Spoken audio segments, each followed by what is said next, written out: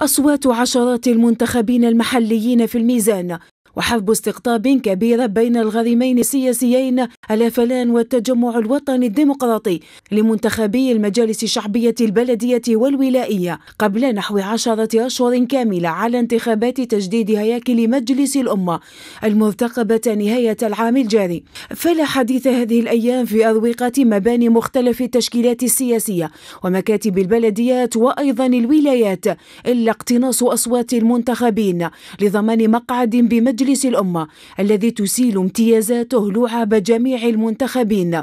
حسب ما توفر من معلومات فإنه وبعد ضم خمسة منتخبين في ولاية جيجل. وعلى مستوى ولاية الجلفة مثلا نجح الأفلان الساعات الأخيرة في إقناع 14 منتخبا. شاركوا في المحليات الأخيرة بقائمة حرة.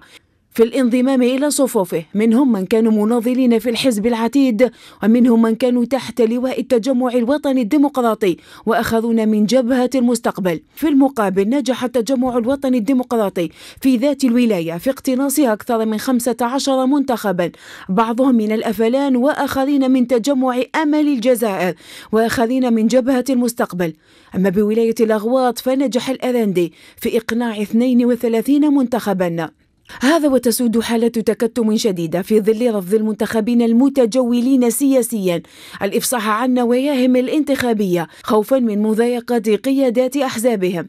بمنطق لا ولاءات حزبية باسم النضال فقط والمصلحة لا سيما المادية منها فوق الجميع. تعيش الأحزاب هذه الأيام هجرة جماعية وسط منتخبيها فالصوت لمن يدفع أكثر.